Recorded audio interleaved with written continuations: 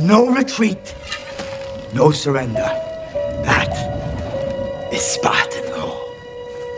And by Spartan law, we will stand and fight and die. A new age has begun. Then what must a king do to save his world when the very laws he is sworn to protect force him to do nothing? It is not a question of what a Spartan citizen should do, nor a husband, nor a king. Instead, ask yourself, my dearest love, what should a free man do? You fight for your lands. Keep them. You fight for Sparta. She will be wealthier and more powerful than ever before. You fight for your kingship. You will be proclaimed warlord of all Greece, answerable only to the one true master of the world. Leonidas, your victory will be complete.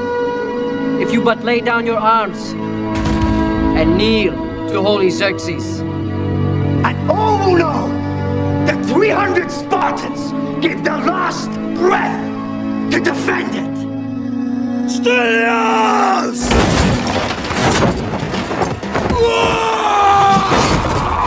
It's been more than 30 years since the wolf in the winter cold. And now, as then,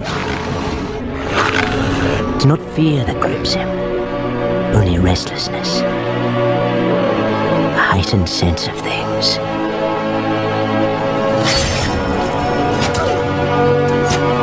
It's an honor to die at your side. We are with you, sire! For Sparta! For freedom! To the death! It's an honor to have lived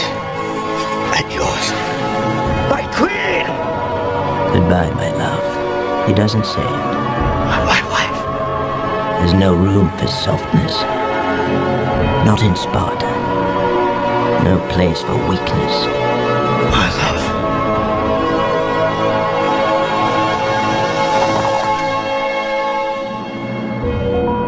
But from free Greek to free Greek, the word was spread that bold Leonidas and his 300, so far from home, laid down their lives, not just for Sparta, but for all Greece, and the promise this country holds.